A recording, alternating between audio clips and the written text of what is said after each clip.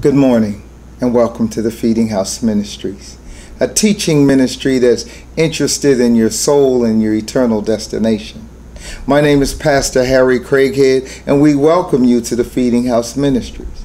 And we want to thank those who have continually contributed to this ministry through PayPal and other sources that we may be enabled and empowered to continually do His work and His will. Today we're going to talk about putting together, thinking up, something done to get ready for an event or undertaking, training, research, arrangement. We're going to talk about preparation. We all must be prepared to do God's work in God's time and in God's way.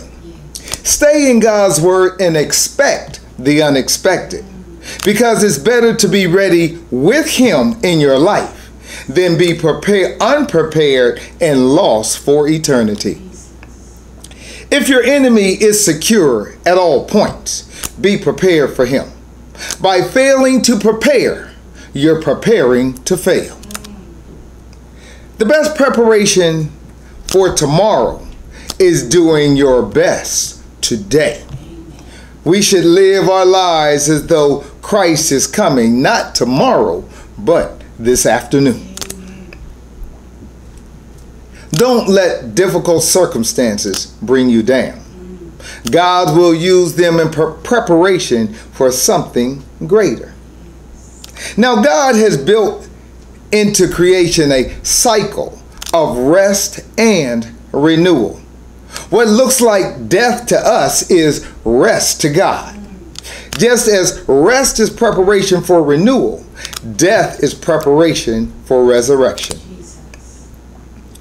The seasons of life require that we sometimes enter periods of dormancy. We're not dead, but we feel as we've been or become invisible. During such times, we may feel useless and we may wonder whether God will ever use us again. But periods like this are for our protection and preparation. When the time is right, and conditions are safe, God will call us once again into service. Look at it this way. If you want to plant a lawn or a garden, the, the soil must first be broken up. Even the most productive land and the most uh, must be turned over and tilled every once in a while. Otherwise, growth is difficult and sometimes, if not, impossible. God sometimes prepares the soil of our human hearts to receive His word by a breaking up process. It may be through a disaster like a hurricane, a flood, or fire, or sometimes it comes through sickness, di uh, disappointment, or even deep sorrow. If you have been experiencing trouble or heartache, God may be softening the soil of your life so that the seed of His word can grow in you. Yes. Don't fight it. Let Him have His way. Yes. Allow Him to produce patience and maturity in your heart. And one day, you'll thank Him for His soil preparation. Yes. Remember, love involves responsibility and always involves sacrifice.